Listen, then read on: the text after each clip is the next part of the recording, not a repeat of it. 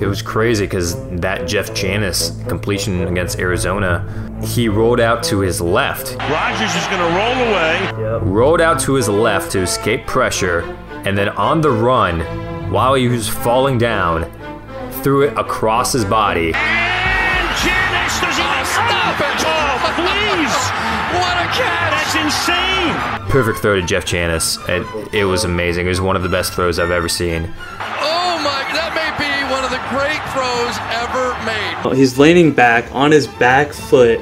Like it's just an incredible throw. Um, he might be the only quarterback in the NFL that can make that throw.